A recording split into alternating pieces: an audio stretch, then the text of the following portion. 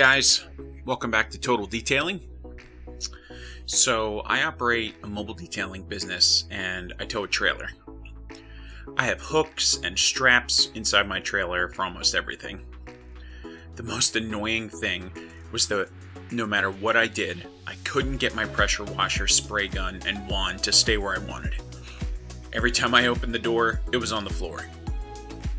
So, I went searching around for a pressure washer wand holder, so then I stumbled upon this. If you bought one of these, you should be highly upset with yourself. So Mosmatic, a sort of bougie or boutique name in auto detailing, makes a pressure washer wand holder. Granted, it's made of stainless steel and it looks cool, and can be over a $100 depending on where you find it. Excuse me? I'm going to show you today how you can make your own pressure washer wand holder without cutting anything, without buying it online, and without breaking the bank. I was able to make a pressure washer wand holder in 5 minutes with nothing more than a drill and 4 screws. So I ventured out to Lowe's this morning. I needed another 40 degree pressure washer tip. Mine almost stopped working on a detail this past weekend. And the 40 degree is my most used tip. Here it is. Wow, 10 bucks? I could buy an entire pack of these online for $10. Ah, well, what are you going to do? Oh, check this out. Lowe's carries a foam cannon. It's 35 bucks and it has a ratio mixer on it. Shoot for 35 bucks, that's good to know where you can get one quickly if you need one fast.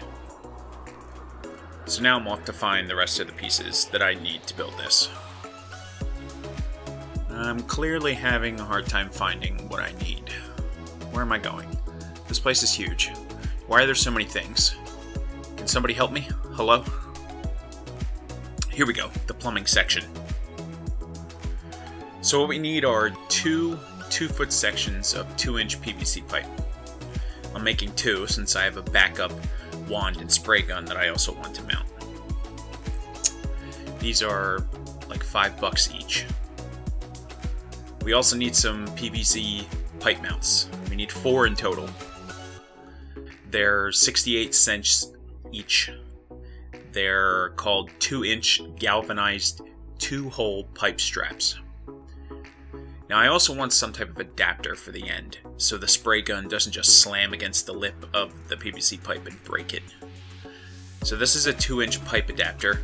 I just grabbed what I could find that would fit on the pipe and give me the protection that I wanted. They were less than $3 each. I also needed another bucket since I cracked my rinse bucket. I've got tons of Home Depot and Lowe's buckets, but they don't look as good as the white ones. Gotta be professional out here. So putting this together is really easy. So first put the coupler or whatever adapter you pick for the protective lip onto the pipe. Give it a good smack so it's seated tightly.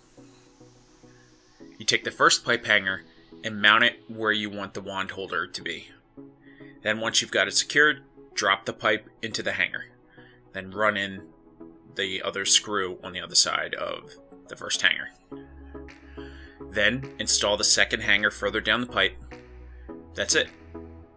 Now you've got a rock solid wand holder for less than 10 bucks and your pressure washer wand will stop falling on the floor. And you can say that you saved like $90. Alright, guys, thanks for watching. I appreciate it. Let me know what you think down in the comments. I'm always looking for feedback. We'll see you in the next one. Good luck out there.